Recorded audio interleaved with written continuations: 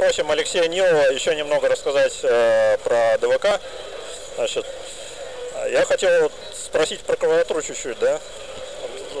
Просто по современным меркам, э, ну, сейчас клавиатура немного по-другому выглядит. Вот, хотел спросить, что здесь вообще что означает, да, вот эти вот загадочные сокращения.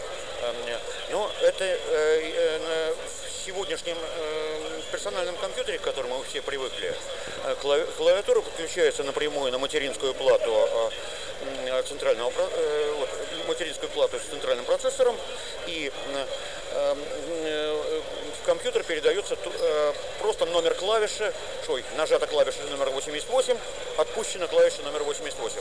Все, все, все остальное делает уже сам а, а, центральный процессор.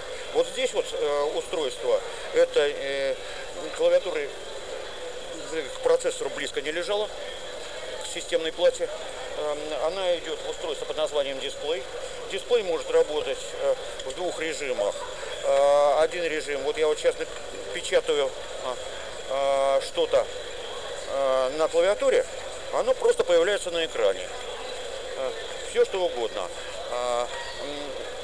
я могу нажать кнопочку передача, и вся эта информация одним махом э, будет э, по последовательному интерфейсу э, передана в компьютер.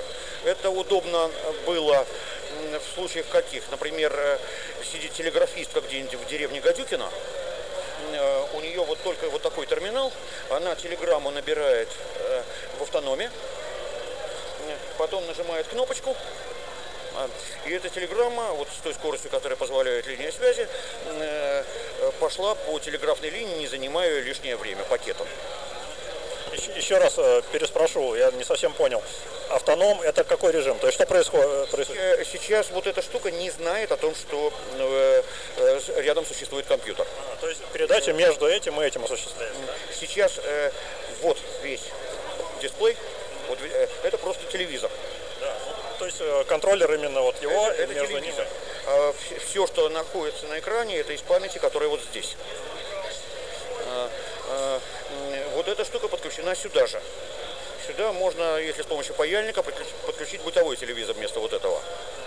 Ничего не изменится. Просто обычный бытовой телевизор. Э, в автономном режиме вот эта конструкция работает без э, внешней помощи. То есть напечатанный на клавиатуре текст э, идет на экран. Ну, там еще, в принципе, сзади есть разъем. Можно подключить автономный принтер. И нажав э, кнопочку ПЧ, вот она, э, вот набрать текст на экране, э, нажав эту кнопку, отправить содержание экрана на печать. То есть, по сути, у нас терминал, который независимо от компьютера, да, работает, и мы можем послать... Да, этот, этот терминал на самом деле в нем внутри, вот конкретно вот в этом, а, вот этот э, э, терминал э, под названием 15IE00-013, вот такое у него гордое название, это его тип. Вот, насколько я вижу, выпущенный на заводе в городе Фрязино, их выпускали во Фрязино и в Выборге. Это на самом деле довольно серьезный компьютер внутри. Э, причем компьютер на э, секционном процессоре, э, если по-американски секционный процессор семейства Intel 3000 по-советски серия, микросхема серии К1804 со своей оперативной памятью, со своей экранной памятью, со своим ПЗУ, со своей микропрограммой, умеющий работать в двух режимах. Один режим эмуляции венгерского дисплея Видеотон 340 и второй режим, э, э, режим эмуляции системы команд американского дисплея VT52. Переключи, вот верхняя строчка состояния, вот, можно? Э, верхняя вот эта вот строчка состояния, вот в нее можно залезть. Ой. Менять тут единички на нолики, они, вот, скажем, вот это 9600, это меняет скорость э, бит в секунду, бот. А, э, это 9600 бот, это можно менять скорость передачи данных э, э, между компьютером и вот этим самым дисплеем. Вот остальные, ну, я, честно говоря, уже сейчас не очень хорошо помню, какие биты что обозначают. означают, потому что достаточно много лет такими дисплеями не пользуются. А что остальные вот кнопочки означают? Это сброс.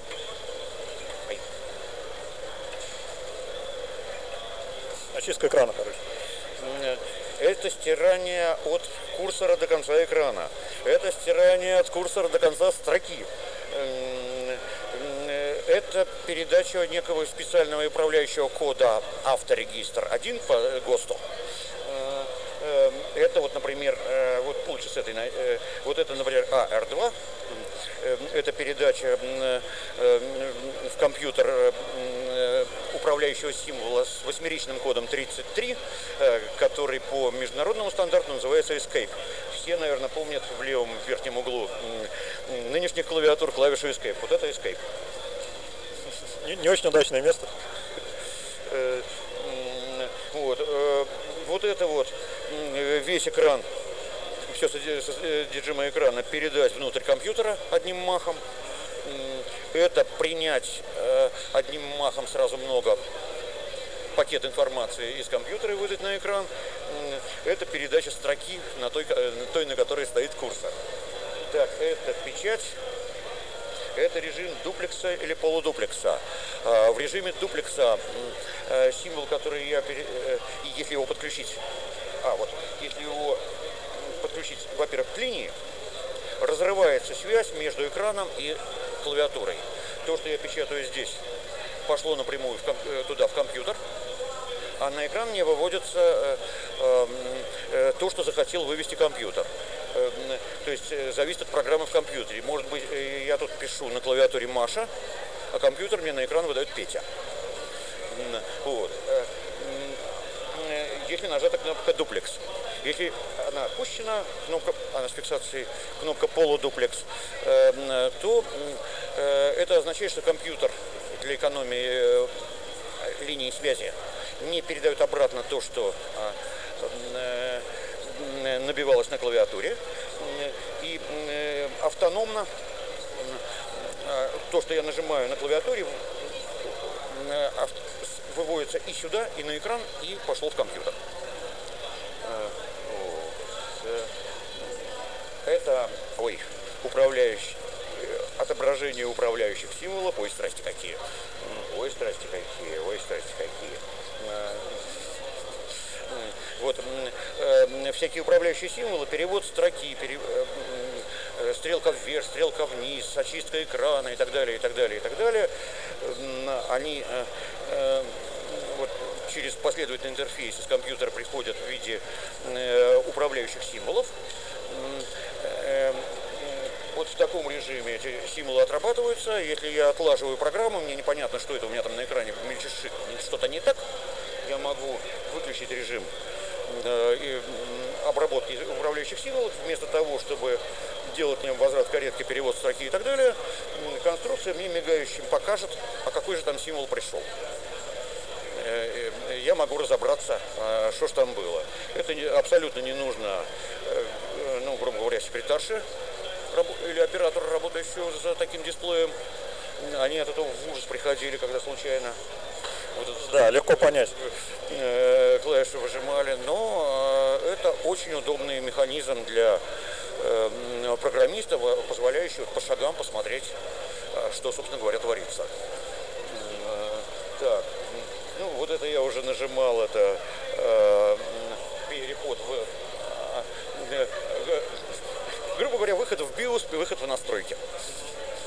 Только не компьютера, а вот этого самого терминала дисплея. Э, ой, э, вот очистка.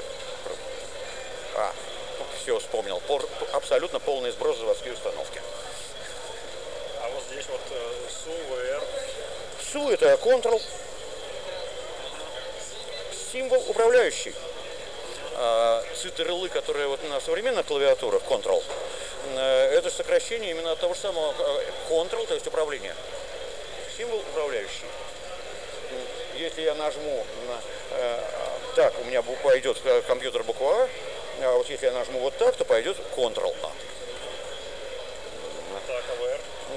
Выры-ныры э, э, это э, некий аналог Shift и капса.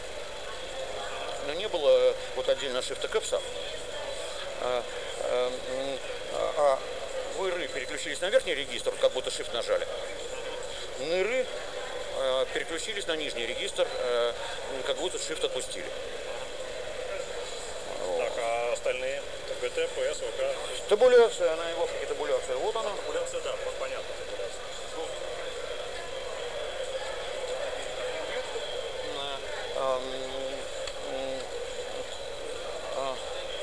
Так, сейчас.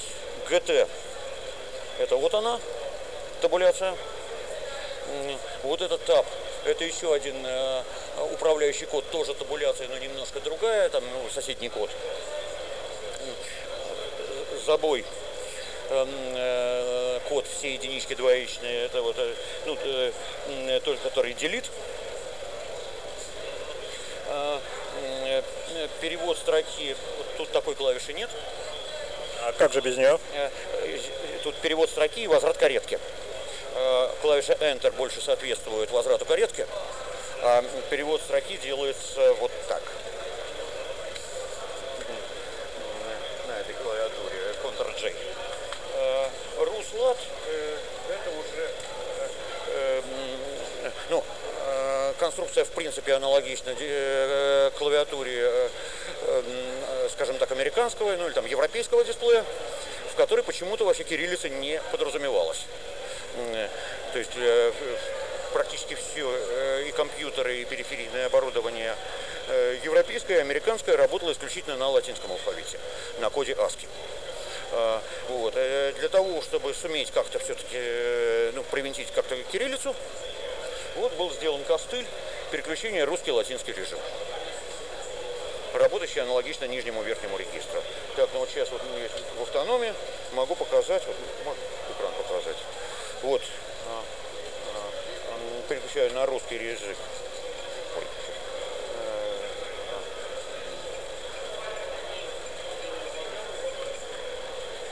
Так, не понял. А, пошла латынь. Не понял, что такое.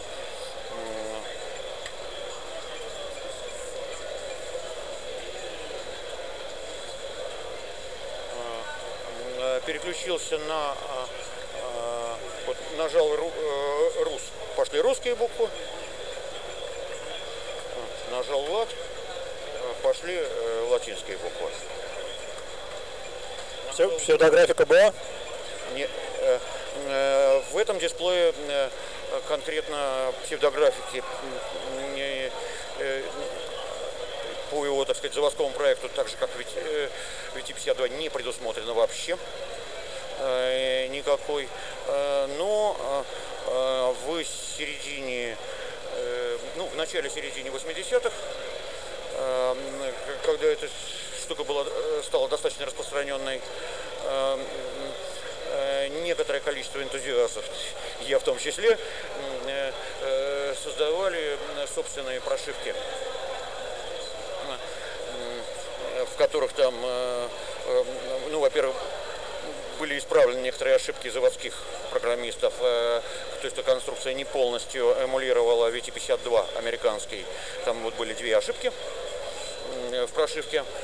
Э, две команды исполнялись чуть-чуть не так в некоторых ситуациях. Из-за этого не работали экранные редакторы текста. Э, вот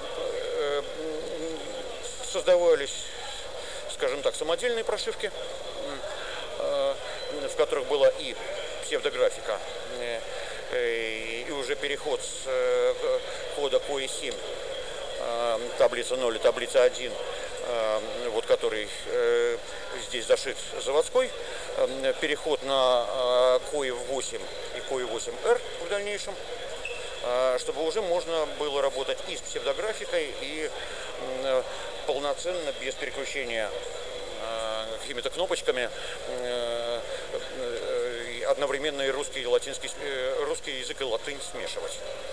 Понятно, спасибо большое. Сейчас про БК еще попросим рассказать. Значит так, Продолжаем наш э, рассказ про ретро-выставку. Э, и сейчас нам Алексей Нилов расскажет немножко про БК, про такой компьютер. Вот, вот он здесь находится. Если компьютер ДВК, который мы только что рассматривали, э, это расшифровывается как диалоговый вычислительный комплекс, разрабатывался для применения на предприятиях, в государственных, ну, кроме государственных тогда никаких не было учреждениях и в высших учебных заведениях, то потом э, Коммунистическая партия Советского Союза поставила задачу, что мы должны разработать э, бытовой компьютер э, который может уже продаваться в магазине и который может купить обычный простой советский гражданин. ДВК, который вот мы там только что рассматривали, у него стоимость была около 5000 рублей что для инженера, получающего 120-30 рублевую зарплату, было, в общем-то, неподъемно.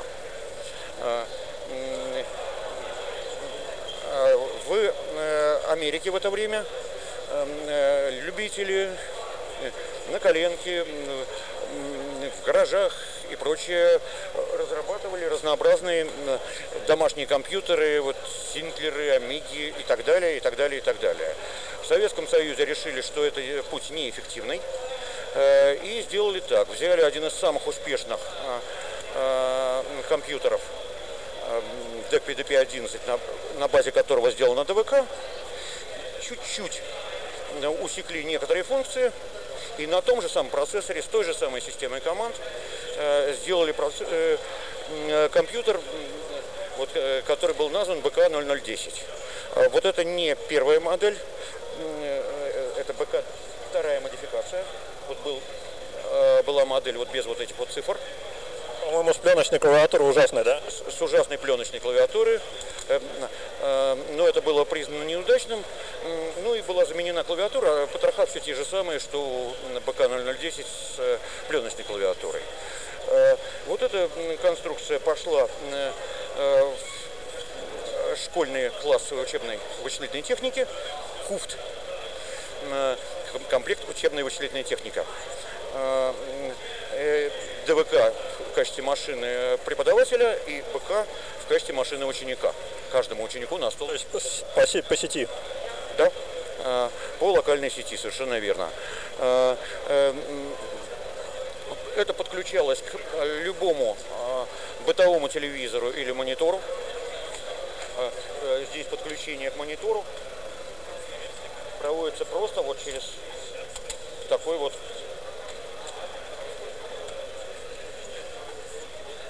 Как в старых магнитофонах. Да-да-да, именно такой. Именно он. Причем можно подключать либо к черно-белому монитору, либо к цветному, вот два разъемчика. СТВ, цветной телевизор, черно-белый телевизор.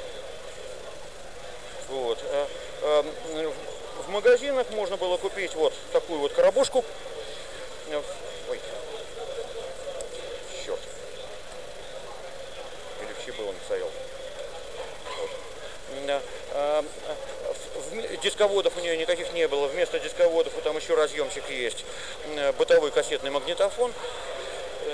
Вот. Э, магнитофон и телевизор покупайте сами.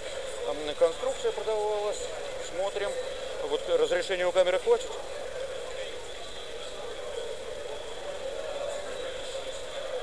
Пятьсот пятьдесят рублей. 550 рублей. Три зарплаты инженера, да, где-то так? Три зарплаты инженера. Эм, выпущено в октябре 88 года. Э, если бы а, а, не э, начался интересный процесс, э, когда центры НТТМ при а, райкома комсомола могли переводить рубли в доллары по курсу газеты «Известия» 60 с чем-то копеек за доллар. Покупать на Западе западные компьютеры и продавать их здесь внутри государственными организациями, но уже по цене 5-6 рублей за доллар. Э, и тогда вот возникло бешеное количество этих самых IBM PC, самых первых. Э, если бы этого не произошло, вот эта вот штука, а, э, вот соревнование бы с IBM PC выиграла. В первых IBM PC, IBM PC XT, там был 8-битный процессор, здесь 16-битный процессор. У вот этого процессора быстродействие в 4 раза больше, чем у IBM PC XT. Ну, это сравнивает, наверное, если только с очень ранними, да? С, с, Буквально первыми. С тем, что было в то же самое время, с тем, что разрабатывалось одновременно. Это шло хвост-хвост. А, то есть одна проблема была, вот вдруг вброс на, э, у нас, э, вот за это надо было в очереди стоять. Э, вот, скажем, у нас в Петербурге, в Ленинграде тогда еще эм, эти компьютеры можно было купить только в магазине салоне электроника на Гагарина, совсем недалеко отсюда. Эм, только надо было стоять в очереди, записываться в очереди там что-то на 6 или 7 месяцев вперед. А появились, появились массово американские персональные компьютеры, это был первый удар вот по этим. А он насколько сильно он урезан по сравнению с ДВК вообще? Э, достаточно сильно. У него отсутствует, например, вот этот отдельный э, дисплей или графический или алфавитно-цифровой. И все это положено на центральный процессор. Для этого урезана оперативная память. Точно так же, как это было сделано в IBM PC. Процессор Intel 88 8088, на котором были первые объемы э, PC, э, э, он подразумевал работу с памятью до 1 мегабайта. Но в реального IBM PC была доступна память, такое волшебное слово, 640 килобайт. Почему такая не круглая цифра? Это из этого мегабайта отрезали кусочек под память экрана. То есть на самом деле там мегабайт, но вот эти вот верхние Э, э, они даны под память экрана. Вот здесь было сделано абсолютно то же самое. Э, с, в IBM PC по сравнению с соответствующими профессиональными компьютерами на интелевском процессоре том же самом был убран отдельный, ну грубо говоря, там контроллер диска, контроллер клавиатуры и так далее, и так далее большая часть была запихнута в материнскую плату и положена на центральный процессор. Вот э, там вот на дисплее, который мы только что рассматривали, там вообще-то один процессор стоит внутри клавиатуры, другой процессор стоит внутри вот ящика, который ну, по нынешнему видеоадаптер, э, блок управления дисплеем, и третий процессор стоит, э, вот, собственно говоря, сам компьютер уже отдельно. Вот. И вот здесь и в IBM PC XT все это было перекинуто на один и тот же центральный процессор. И насколько сильно это урезание повлияло на совместимость с софтом? А, э, э, софт, который... Э, значит, на ДВК было очень удобно писать э, софт, э, который дальше исполнять. Вот здесь Э, но впрямую, э, ну, только самые простенькие. Э, ну, система команд одна и та же. Язык ассемблера тот, тот же самый, там, язык C тот же самый. А но, операционку, например, нельзя уже было запустить, да, тоже? Но здесь отсутствует общая шина, к которой можно подключить разнообразные контроллеры дисков, цифроаналоговые преобразователи и так далее. Здесь упрощенный некий интерфейс очень сильно урезающие возможности. И вся вот стандартная периферия, даже вплоть до вот экрана клавиатуры, подключена к э, э, нестандартным по сравнению с PDP-11 э, способом. То есть любую программу надо было переписывать хотя бы в той части, где она что-то на экран выводит или с клавиатуры забирает. И это было нерешаемо, да? То есть никакими расширениями этого уже не изменить было бы? Аппаратными это не, было нерешаемо, но программы соответствующие, ну, просто переписывали. Портировать, то есть надо, да, да. понятно. Вот. Э, вспоминаю кошмарное занятие, как мы портировали, э, такой, может быть, слышали где-нибудь когда-нибудь игру, написанную изначально для ДВК. Игра называлась э, «Тетрис». Э, вот э, на вот такую штуку э, Тетрис был портирован э, э, Тетрис был портирован э, Ленинградском государственном университете совместными усилиями сотрудников одного сотрудника биологического факультета и одного сотрудника факультета прикладной математики и процессов управления. Мы портировали Тетрис э, э, на, с ДВК на БК. А вот такой вопрос. Вы говорите, очень удобно на ДВК писать для БК, да? да. Но там же проблема с графикой, да, вот с этим всем. Как это решается? А, как бы это лучше объяснять? Для того, чтобы сконструировать э, атомный ледокол, не обязательно его выпиливать э, в натуральную величину э, дома в коридоре. А, достаточно все-таки чертежей, схем и так далее. Точно так же, ну вот, разрабатывая на ДВК ну, вернее, не совсем на ДВК, но на аналогичном компьютере. А, программное обеспечение для БК я делал что? У меня стоял шкаф, вот этот нормальный промышленный, грубо говоря, компьютер нормальный. А, рядышком на столе лежало это самое БК, они были соединены кабелем. Я на нормальном а, компьютере, вон на таком вот дисплее, там писал какую-то там, набирал какую-то программу, э, проводил ее компиляцию и так далее, и так далее, и так далее. Потом готовый результат закидывал э, вот тут же э, в эту самую БК и смотрел, что получится. Не получилось, пошел исправлять ошибки. Очень удобно. Хорошо, большое спасибо. Очень интересно.